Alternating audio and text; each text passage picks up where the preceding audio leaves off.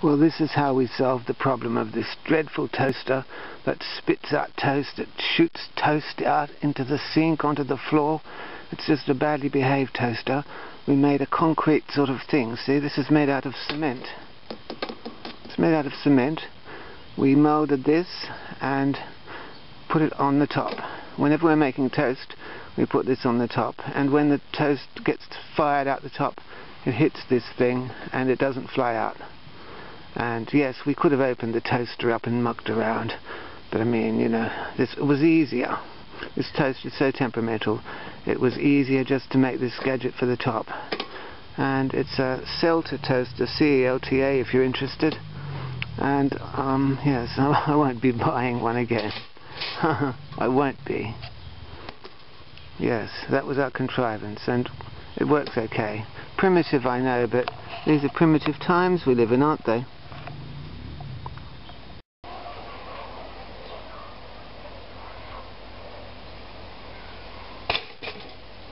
See what I mean? Well, this is our new toaster, our new El Cheapo $23 toaster. It's 21st century technology. And, well, I'm not sure that it is a sort of a very uh, clever invention because we'll see what happens in a minute. Let's wait for a minute see what happens to this stupid thing.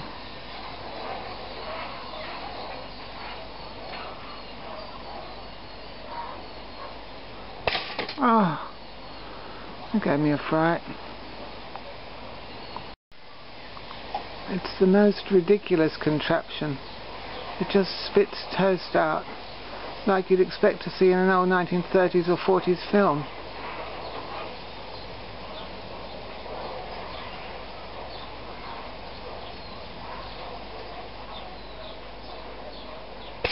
Oh, the drier the toast, the higher it goes. In the kitchen, it spat toast out into the sink, it spat toast out onto the floor. So, if the toast actually caught on fire, it would start a fire in the house, wouldn't it, really? It could start a fire, this toaster. It's 21st century technology.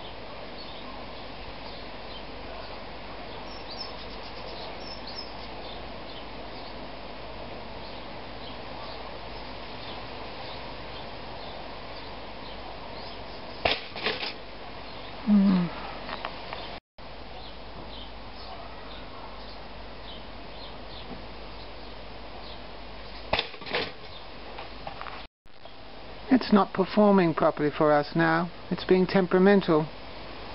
But in the kitchen it's been tossing toast into the sink and onto the floor. And I don't know what to do about it. Now that I wanted to do it for YouTube, it's not going to comply, is it? It's a temperamental little thing, obviously. We can't be allowed to toss flaming toast everywhere.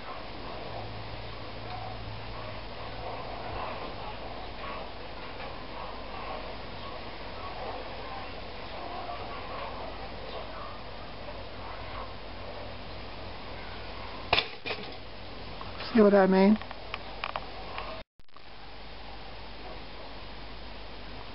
Let's see how it goes this time.